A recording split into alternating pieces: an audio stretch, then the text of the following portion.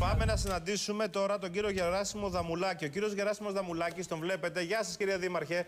Καλό Είναι- μεσημέρι, κύριε Δήμαρχε. Είναι ο δήμαρχος του πανέμορφου, ε, της πανέμορφης Μήλου. Της Μήλου, Δεν το έτσι. συζητάμε. ένα από τα- Ιεράς, ιεράς και ευλογημένης μήλου. από τα της πιο Πανέμορφης. όμορφα νησιά της ε, χώρας. Τώρα, ο Δήμαρχος έχει βάλει στόχο ζωής να επιστρέψει Η Αφροδίτη της Μήλου στο της νησί. Μήλου στο νησί.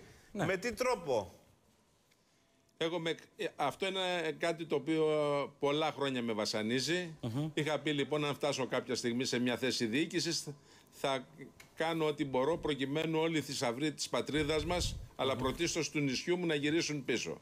Αυτό λοιπόν, ε, ε, από εκεί λοιπόν ξεκινάω για την Αφροδίτη. Έχουμε λοιπόν βάλει μαζί με τους συνεργάτες μου ένα σχεδιασμό, ο οποίος λέει ότι στις 8 Τετάρτου του 2020, 200 χρόνια από την ημέρα που έχει βρεθεί η Αφροδίτη, να, φρο- να έχουμε καταφέρει να τη φέρουμε πίσω στο νησί μας.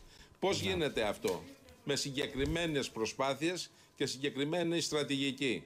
Ξεκινήσαμε λοιπόν, έχουμε κάνει τις προσπάθειες που πρέπει, έχουμε ενημερώσει και μέσα από ένα site που έχουμε δημιουργήσει το Take Aphrodite Home ε, ζητάμε takeaphroditehome.gr για όσους .gr θέλετε. βεβαίως ζητάμε όλους όσους ε, συμφωνούν με αυτή μας την προσπάθεια να, να, να έρθουν μαζί και πλέον ε, δυναμωμένοι πολύ να ζητήσουμε πίσω το άγραμμα της Αφροδίτης να γυρίσει στο, στο φως της Ελλάδος που γεννήθηκε. Αυτό, αυτό είναι το, Μάλιστα.